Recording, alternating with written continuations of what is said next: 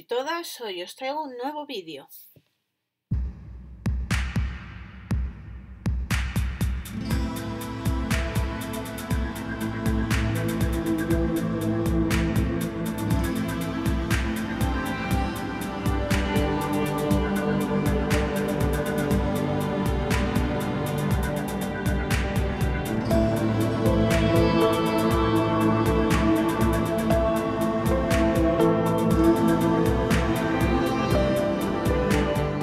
Podéis ver el título, es un maratón de 24 horas que voy a empezar hoy viernes día 4 de diciembre.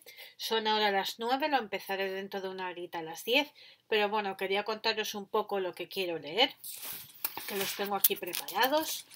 Por una parte quiero leerme una tanda que tenemos pendiente de Cazadores de Sombras, el tomo número 6 de la primera eh, saga, que son...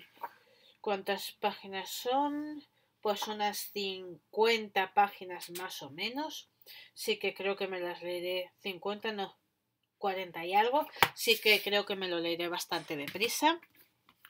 También quiero leerme este libro juego, Sombras Demoníacas, el tomo número 2, que ya había leído el tomo número 1 hace tiempo y bueno, le tengo ganas, además es finito, ya que este año voy bastante mal con los con el reto de Goodreads, ya que me quedan, a ver si os lo logro decir.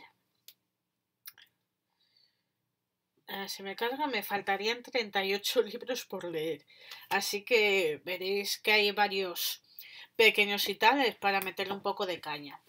También el tomo número 3 de Indigno de Ser Humano, final de trilogía. Tengo también Hideout, este manga de Masasumi Kakizaki. Tengo un relato corto de Jorge Urreta, Cuidado con lo que deseas, que además hoy ya tocaba. Tengo esta biografía de Drácula, Blas Tepes, el empalador y sus antepasados, que además, oye, tiene dibujos y tal, se lee bastante rápido. Otro de los grandes de Blas Tepes, que además tiene letra grande, fotografías, con lo cual va mucho más rápido. También España embrujada, que bueno, tiene letra grande, ilustraciones y se lee bastante bien. Y luego, bueno, pues ya un poco lo que vaya surgiendo y os contaré. Son las 10 y 27, ahí lo veis. Ya me he terminado la tanda de cazadores de sombras, que al final ha sido 50 páginas. Y bueno, ya damos por la página 438. Y a ver cuántas quedarían, que no creo que queden muchas. Quedarían pues unas 225 páginas, son bastante poquitas. Voy a ver si antes de irme a dormir consigo leer un poco del manga de Indigno de Ser Humano para ver si no creo que me lo consiga leer terminar antes de irme a dormir porque estoy bastante cansada, pero bueno, por lo menos avanzar bastante con él. Sí que os veo la siguiente actualización. Bueno, son las 8 y 29 de la mañana, que anoche me fui a dormir y no se actualicé nada. Me he terminado el tomo número 3 de Indigno de Ser Humano de Junji Ito con obra original de Usamu Dazai. Me ha encantado. Aquí vemos la relación entre el autor de la obra original y lo que es la obra de Junji Ito, que me ha encantado que lo relacionase. Y bueno, pues ya llevaría un libro terminado, no sé cuántas páginas llevaría, os lo dejaré por aquí o por aquí seguramente.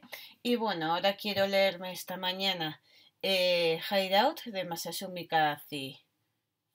Kakizaki, este tomo, que como os dije tengo que avanzar bastante para el reto de Goodreads y así a ver si lo consigo y nos vemos en la próxima actualización.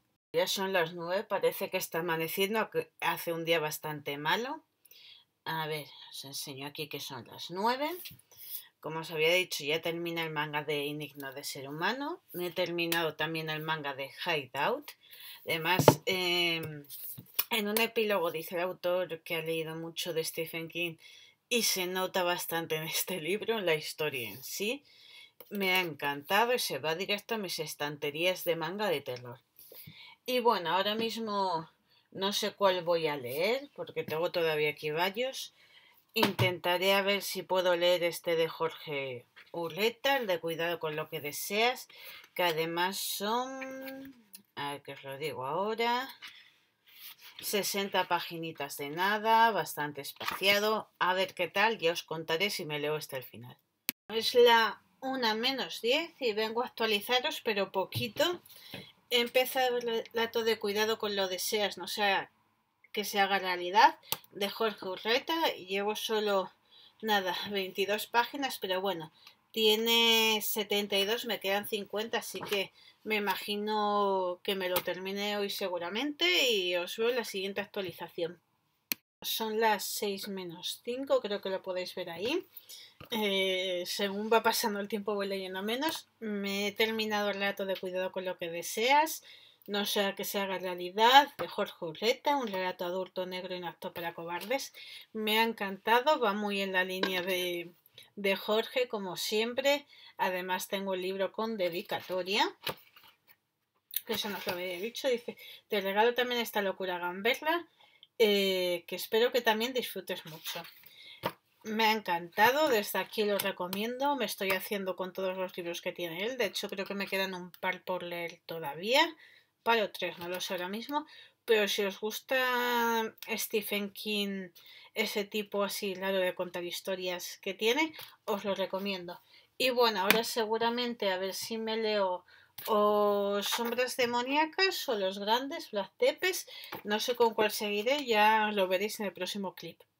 Bueno, son las siete y media pasadas, las siete y treinta y dos, y me he terminado ya el libro de los grandes Black Tepes, que además era cortito, 120 qué, 25 páginas, pero bueno, tiene fotografías, cuando termina un capítulo muchas veces hay páginas en blanco y demás, me ha gustado bastante, muestra toda la vida política desde que Black Tepes sube al poder, por así decirlo, hasta su muerte y un poco más allá para ver cómo quedan las cosas. Si os gusta todo lo de Black, eh, lo de Black Drácula, no, lo de Drácula, Black Tepes, saber de dónde viene y todo, os lo recomiendo. Y bueno, ahora quiero cambiar un poquito de tercio. Iba, quería leerme el otro que tengo de Drácula, pero bueno, no me apetece ahora mismo porque tengo un poco de intoxicación, por así decirlo, de historia. Y quiero leerme este de la España embrujada, ya que quedan. ¿Qué les dije que era? Las siete y media me quedan dos horas y media de reto. Supongo que me dé tiempo a terminar este. No sé si me dará tiempo algo más, pero bueno, ya veremos.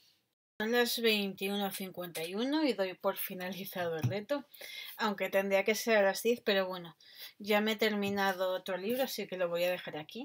Me he terminado España embrujada, que es un libro donde nos cuenta la historia de varios edificios, lugares, eh, pueblos y demás que han tenido algún suceso trágico y a partir de ello pues tienen hechos inexplicables. Os voy a dejar aquí para que veáis todos los sitios los que habla.